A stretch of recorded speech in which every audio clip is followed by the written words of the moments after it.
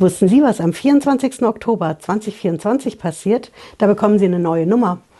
Die Menschen in Deutschland bekommen alle eine neue Nummer. Jedenfalls alle Firmen, alle Selbstständigen und sehr viele Bürgerinnen und Bürger bekommen dann eine Wirtschaftsidentifikationsnummer.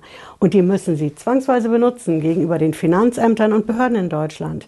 Ich verrate Ihnen heute die vier Dinge, die Sie wissen sollten. Nämlich erstens mal, für wen gilt das? Wer bekommt diese Nummer? Zweitens, warum das Ganze überhaupt? Drittens, wie funktioniert das denn? Sie bekommen keine Mitteilung über diese neue Nummer. Wie sollen Sie da rankommen? Und viertens, ab wann gilt das Ganze?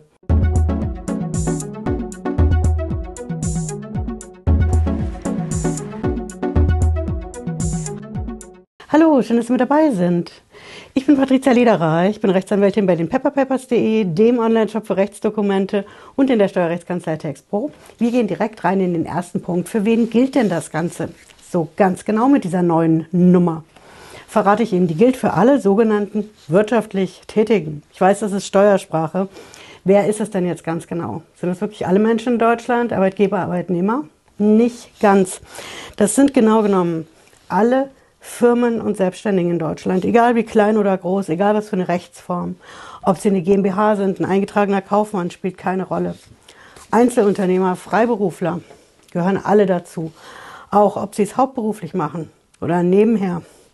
Egal, gehören Sie immer mit rein. Und wenn Sie zum Beispiel mit anderen zusammen es machen, als GBR und nicht alleine, Ihr Gewerbe oder die Freiberuflichkeit, dann gehören Sie auch dazu. Wer nicht dazu gehört, also keine neue Nummer kriegt, das sind Arbeitnehmerinnen und Arbeitnehmer und aktuell jedenfalls auch die Vermieter in Deutschland, die privaten. Da würde ich aber meine Hand nicht für ins Feuer legen, dass das auch so bleibt. Nächster Punkt ist, warum das Ganze? Was soll das denn? Schon wieder eine Nummer, noch mehr Bürokratie. Brauchen wir das in Deutschland? Die Vorstellung vom Gesetzgeber in Berlin ist beim Bundesfinanzministerium, ist man da ja federführend. Und die sagen, wir wollen statt vieler einzelner unterschiedlicher Nummern in Deutschland für Firmen und Selbstständige lieber eine Nummer für alles haben. Warum das nicht so ganz stimmt, das ist nur die halbe Wahrheit. Kommen wir gleich zu. Aktuell ist ja die Lage so in Deutschland. Wenn Sie hier eine Firma haben oder selbstständig sind, dann haben Sie eine ganze Reihe von Nummern. Nehmen wir uns hier bei der TextPro GmbH in Frankfurt am Main. Wir haben so viele Nummern. Wir haben eine Steuernummer. Wir haben auch zusätzlich eine Umsatzsteuer-ID-Nummer.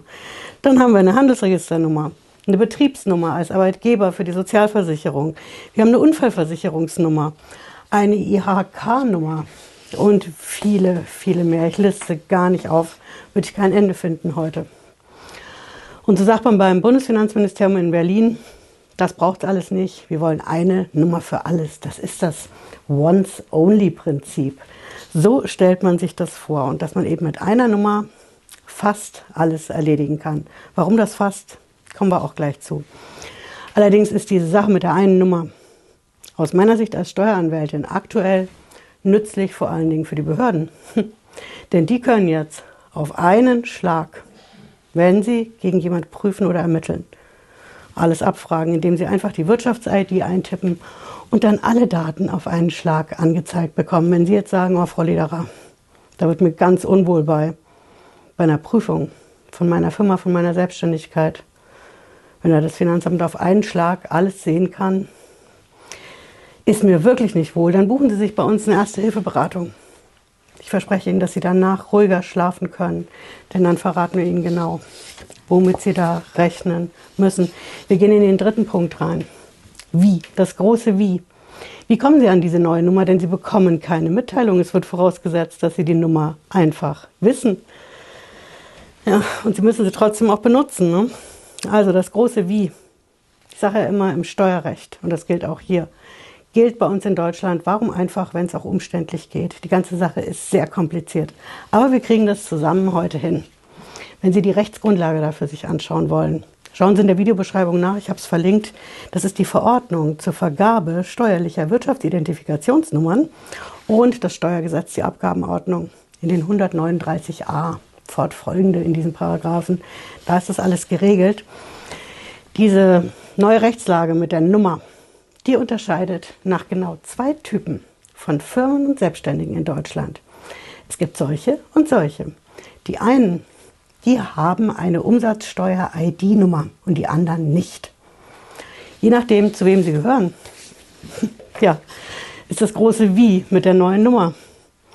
Es ist unfassbar schwer zu beschreiben. Also, wenn Sie so eine Umsatzsteuer-ID schon haben, weil Sie zum Beispiel im EU-Ausland auch Geld verdienen, dann ist es verhältnismäßig leicht, denn dann nehmen Sie diese Umsatzsteuer-ID, nicht Ihre Steuer-ID, die Sie privat haben und auch nicht die Steuernummer, sondern wirklich die Umsatzsteuer-ID. Das ist die, die erkennen Sie daran, dass sie mit DE anfängt für Deutschland. Und danach kommen immer und ohne Ausnahme neun Zahlen. Und jetzt gehen Sie hin für Ihre Wirtschafts-ID. Dann nehmen Sie Ihre Umsatzsteuer-ID und hängen hinten dran minus viermal die 0 und die 1. Das ist wirklich so. Sie müssen diese Nummer selber bilden. Natürlich wird die auch bei einer zentralen Stelle in Bonn gebildet.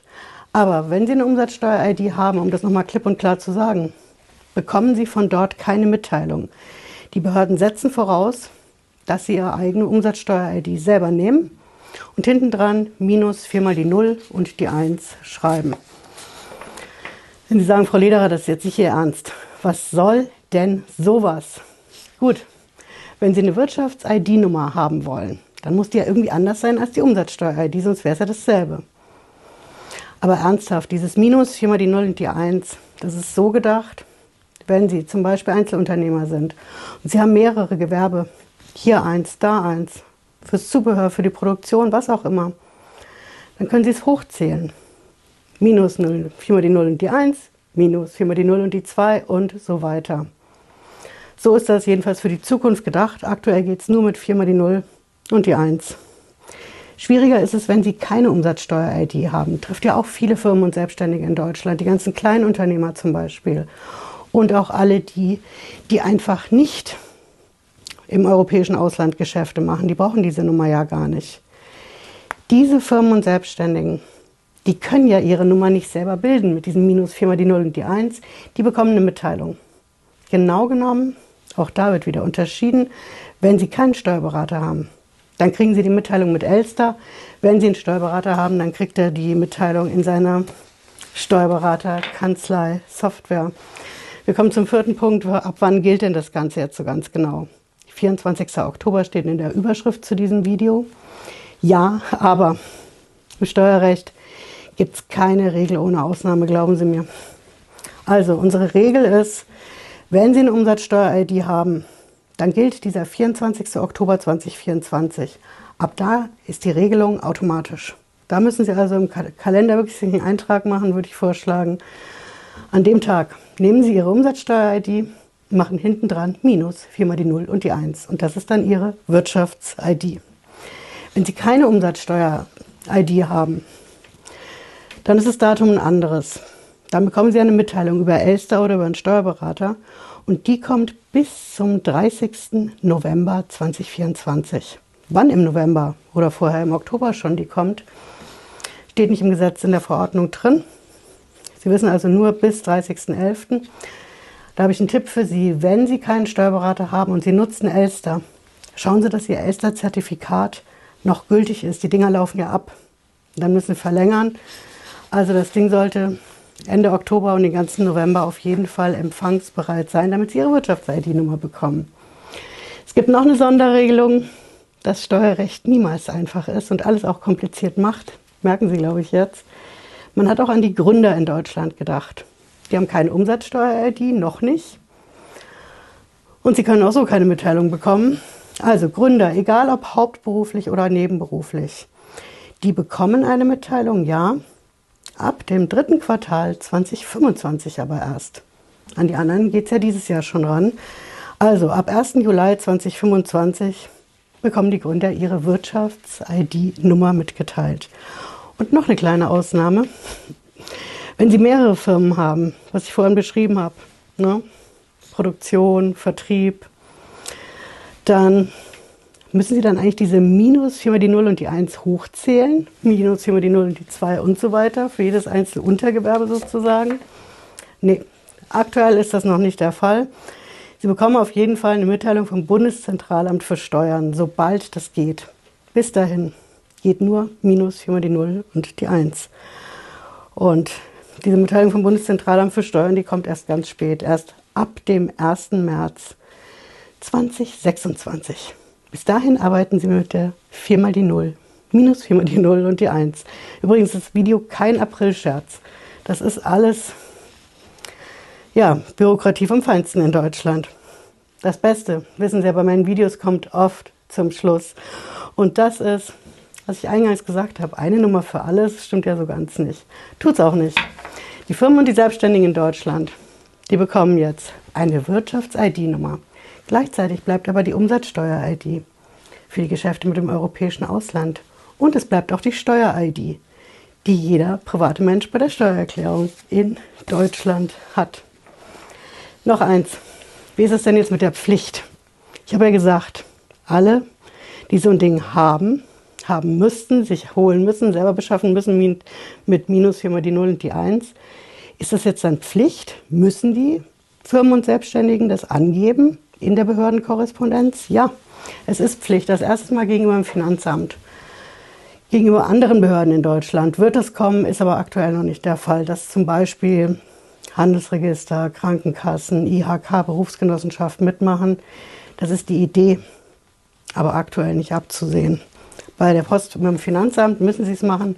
Deswegen haben wir auch bei den pepperpapers.de natürlich vorbereitet sobald das in Kraft ist, dass Sie da nicht mehr klassisch Ihre Steuernummer angeben, sondern die neue Wirtschafts-ID. Wenn Sie jetzt sagen, Frau Lederer, das Video ist der reinste Albtraum, ich weiß jetzt gar nicht mehr, was für mich gilt, schauen Sie den Kapitelmarker nach. Und da finden Sie genau, was für Sie gilt, wenn Sie selbstständig sind oder eine Firma haben oder was für Leute gilt, denen Sie das Video hoffentlich weiterempfehlen. Wie immer habe ich gehofft, dass es Sie heute schlauer gemacht hat und wir sehen uns auf dem Kanal schon bald wieder. Bis dahin, machen Sie es gut. Ciao.